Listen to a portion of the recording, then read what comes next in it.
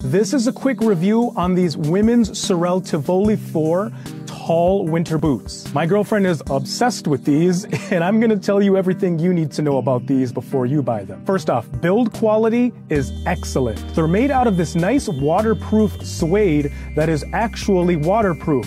You're able to treat this with a spray if you would like to, but so far she hasn't had to do that. And the stitching between the sole of the boot and the body of the boot is impeccable. There aren't any imperfections. Everything comes together seamlessly. These laces are flat laces, which are really cool because they give the boot a nice, sleek, streamlined appearance because they lie flat on the boot. They have this molded rubber outsole that's held up really well as far as traction goes, and they are really lightweight for the size that they are. She doesn't have any issues with going on dog walks in these or running out to check the mail. She says these are really comfortable everyday winter boots. This micro fleece lining on the inside, this is really soft. I wish I could wear these.